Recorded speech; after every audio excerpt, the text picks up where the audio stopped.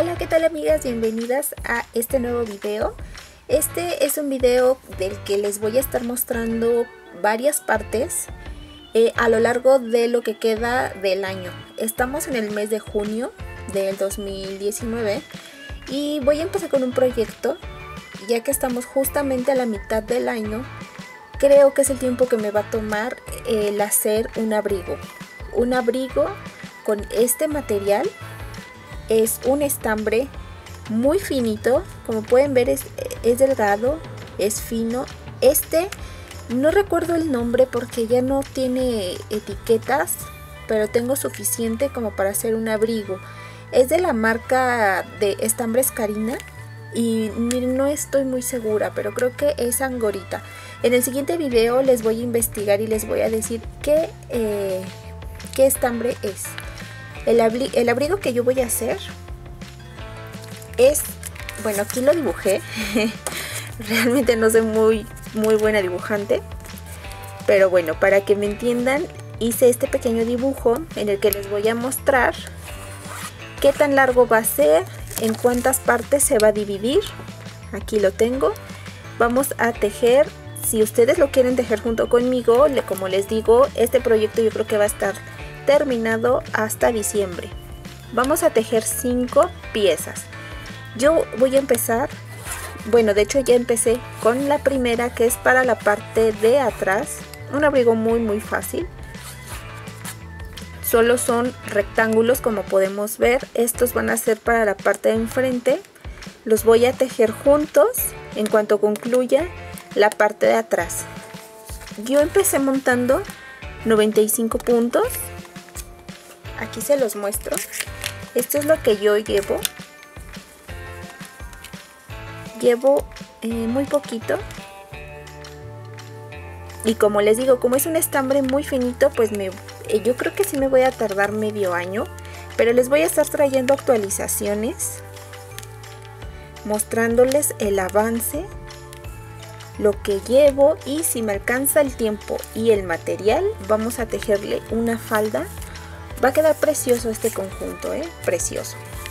Bueno, entonces les decía que he montado 95 puntos y voy a tejer lo largo que yo quiera mi abrigo. En este caso van a ser aproximadamente 70 centímetros.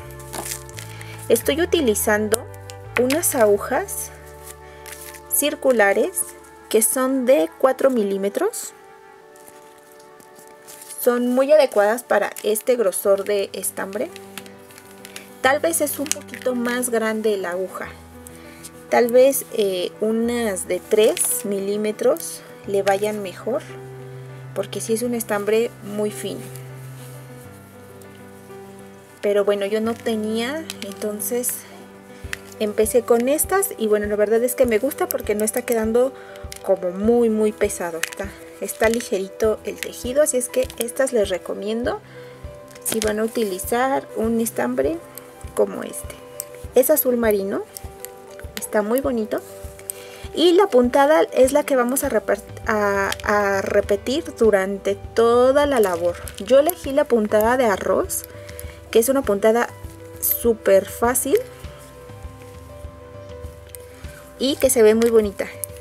Miren aquí en la toma si notan las bolitas a mí me gusta muchísimo.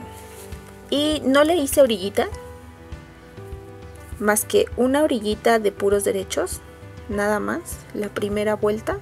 Y a partir de la segunda de la segunda empecé ya con la puntada de arroz. Y en los bordes siempre tejo puros derechos.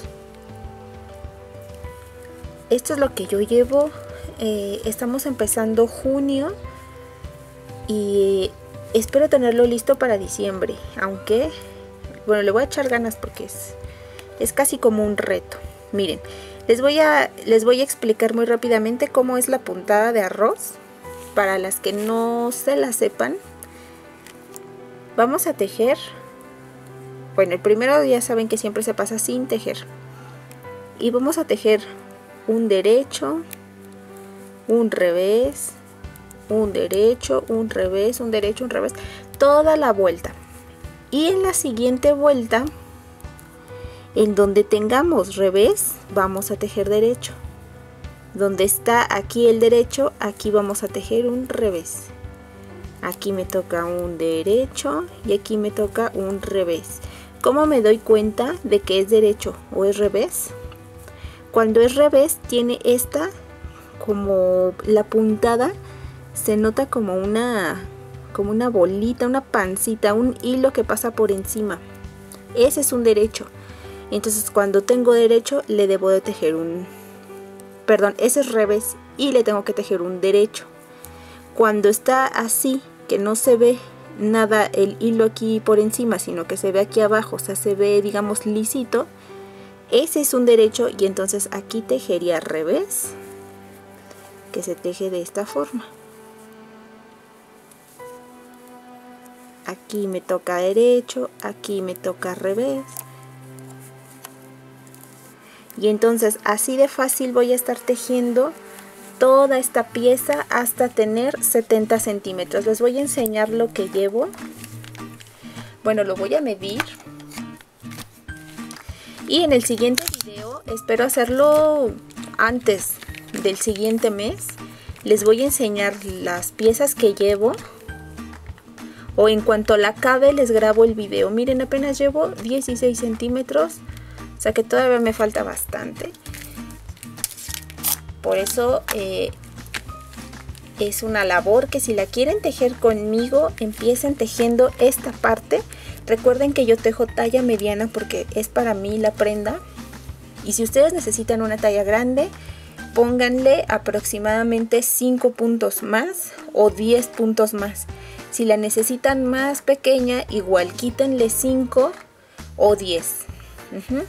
Para que no les quede pues ni tan grande si la, necesitan grande vayan viendo con 5 que les mida lo que mide de ancho su espalda, o sea, de hombro a hombro por la parte de atrás y que eso mida su, lo ancho de, de esta pieza. Eh, recuerden que también varían el número de puntos si están utilizando otro estambre. Si es más grueso van a tener que montar menos puntos. Por eso les doy de referencia a eso. Mídanse lo ancho de sus hombros. Aquí se lo voy a mostrar con este muñeco que tengo acá. Se, se pueden medir lo ancho de sus hombros. ¿sí? De aquí acá. Y lo que les dé eso eso es lo que van a montar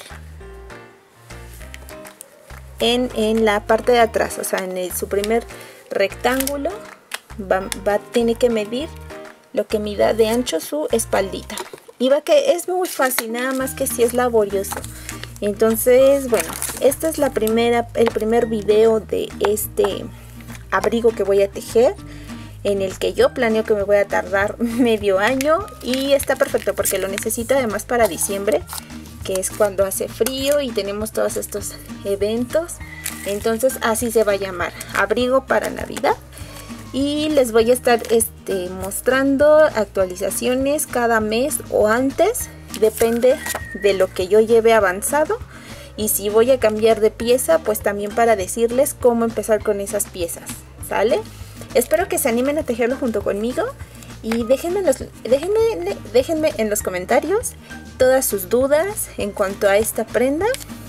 Eh, este es el primer video, entonces esténse pendientes de las actualizaciones que les voy a traer más adelante. Muchas gracias por ver este video, les mando un saludo y un beso a todas, suscríbanse, compártanlo y nos vemos en el siguiente.